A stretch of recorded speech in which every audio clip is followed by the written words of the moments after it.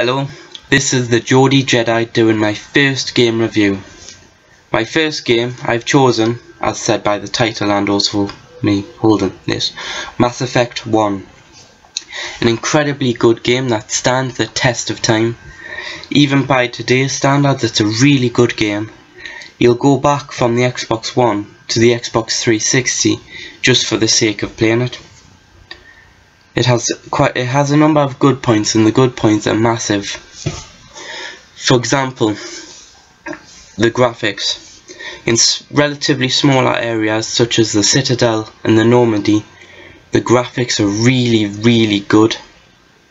Even even the Citadel, such as the embassies, is actually a relatively large map and the graphics are brilliant. And then when you drop down onto a planet in the Mako, the graphics might not seem as good, however what you have to consider is that this map is massive. You have so much to survey, so many probes to find, missions such as biotic colonies to stop, all that kind of thing. There's quite a bit to do considering it's a, it's quite an old game. It doesn't happen as often. Another really good point is the customization. Not only of your character, such as how he starts as a colonist spaceborne or and then and then like war hero or survivor etc and also the looks of the character. There's quite a few things you can change about them. But the main customization point is the weapons. There are so many guns with so many different modifications and then ammo upgrades. For example you can have a scimitar shotgun with a improved barrel level 3 with radioactive rounds for example. Now lots of little different changes. There's so much stuff to find then. Sell on for credits if you want. Another and probably the best point and the reason really why you play Mass Effect games at all is the story. Even the slightest change near the start of the game will change everything. Well more or less everything which is which is rare. Most games just have a singular story, and maybe at the end you can choose, you know, a good or bad ending, such as Star Wars: The Force Unleashed 1 and 2. However, during the game, the way you play it doesn't necessarily make much difference.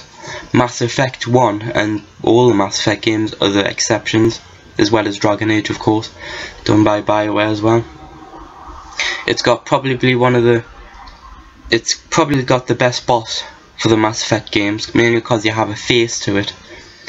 You have Sar you have Saren as a boss. In the second one, you have Harbinger and the Collectors, which isn't really as a face to it. And then, of course, the third one, you have the Reapers in general. Right, bad points. Elevator scenes. Funny enough, you'd prefer loading screens in if there was a choice between the two. I usually switch to a different channel and just watch TV for a second or two. Just because I don't want to listen to them in the elevator, it's boring. It's because in the elevator it feels like you should listen. A loading screen at least, you know, you don't have to watch.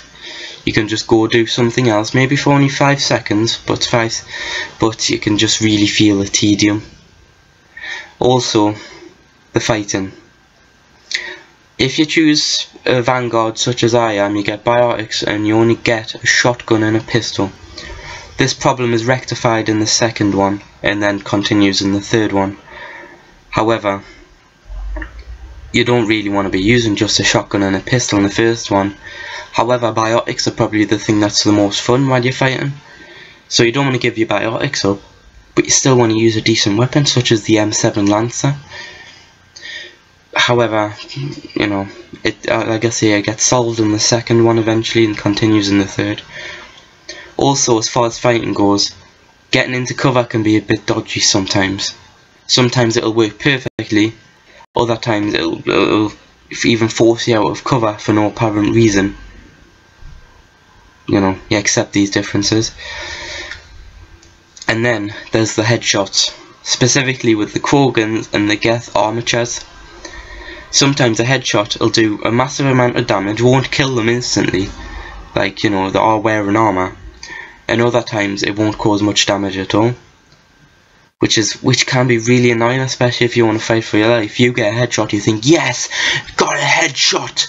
And his health drops only a tiny bit and you think oh crap get back into cover and hope for your life anyways those are the only really bad points of the game game gets a 9 out of 10 or an 8 out of 10 by today's standards 8 out of 10 but considering the game's quite a bit old you have to say an 8 out of 10 for that kind of game is pretty good by today's standards.